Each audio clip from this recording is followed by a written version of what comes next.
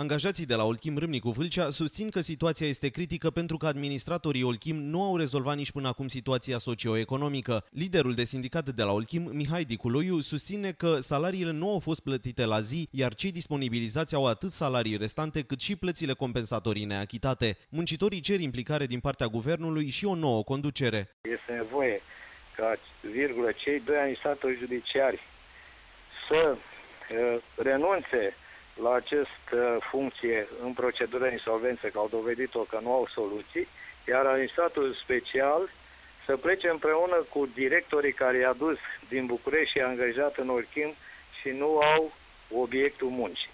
Iar la nivelul autorităților locale este bine ca împreună cu noi să facem un front comun astfel încât să fie o conducere competentă la nivelul societății comerciale Orchim, condusă de un manager care să aibă o strategie. Ministrul Economiei, Varujan Vosganian, susține însă că muncitorii și-au primit salariile până la sfârșitul lunii mai și a anunțat astăzi în ședința de guvern că se va deplasa personal la Râmnicu Vâlcea. În luna iulie, din punct de vedere tehnic, Olchimul se echilibrează, uh, producția a crescut uh, substanțial în ultimele 5 luni, uh, practic am crescut de două ori și jumătate, Uh, salariile sunt date pentru tot personalul până la sfârșitul lunii mai. În luna iunie, peste 900 de salariați de la Olchim, 605 de la Râmnicu Vâlcea și 327 de la Divizia Petrochimică Bradu Pitești au fost disponibilizați, ei beneficiind de indemnizație de șomaj și venit de completare. Combinatul Olchim se află în insolvență din luna ianuarie a acestui an, iar privatizarea a ieșuat anul trecut întrucât Dan Diaconescu nu a plătit suma la care s-a angajat, respectiv 45 de milioane de euro.